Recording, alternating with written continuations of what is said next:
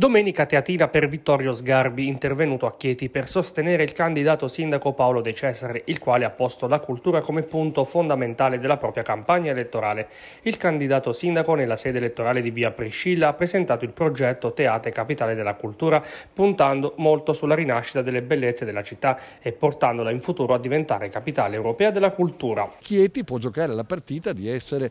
dalla parte della cultura la prima città dell'Abruzzo e da questo punto di vista è un'idea giusta sul piano di ciò che deve essere mostrato ai cittadini, pensare che il rilancio della città sia legato a elementi eh, che sono quelli di una grande storia. È una lista intelligente e da questo punto di vista io credo che i cittadini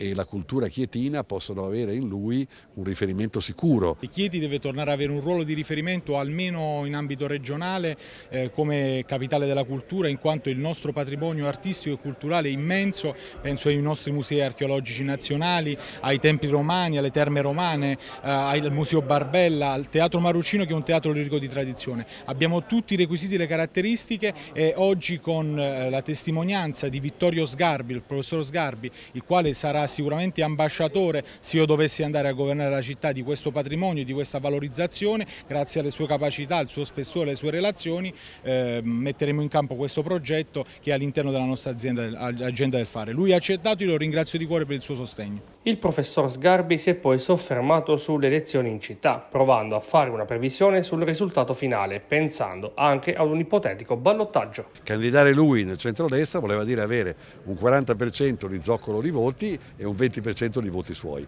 Questo non è avvenuto, quindi è probabile che il centrodestra abbia una buona affermazione, ma che lui da un lato non porti via voti tanto da far vincere al primo turno la sinistra, cosa che potrebbe accadere quando si divide un'area uniforme che potrebbe, ma che possa creare una situazione che lo porta al ballottaggio mettendo poi in evidenza le due personalità al di là dei partiti di riferimento. Quindi da questo punto di vista ha fatto una buona scommessa. Io credo che il suo risultato andrà intorno al 20%, quindi avrà comunque dimostrato rispetto non a Chieti ma alle elezioni che inevitabilmente arriveremo a fare un giorno, non ho intenzione di fare una campagna contro qualcuno, è vero che lui pone un problema e crea una situazione dialettica che potrà portare molti tra due destre, due centrodestra a valutare le capacità specifiche del singolo candidato, soprattutto al ballottaggio, quando i partiti vanno indietro e i due candidati si misurano.